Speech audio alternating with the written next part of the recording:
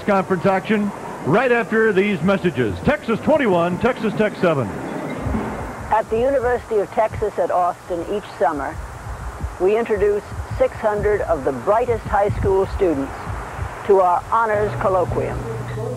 I came to the honors colloquium because I was aware of the fact that UT ranked among the top in the country in the number of National Merit Scholars. You can't have simply a good program. You have to have good teachers. You have to have good students. And that really makes the place. Variety can be found at every turn.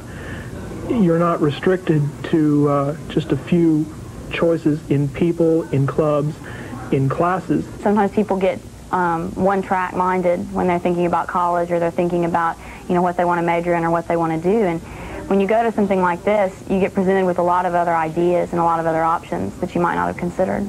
Through our honors colloquium, we are reminded that what makes a university great is the highest quality faculty and outstanding students.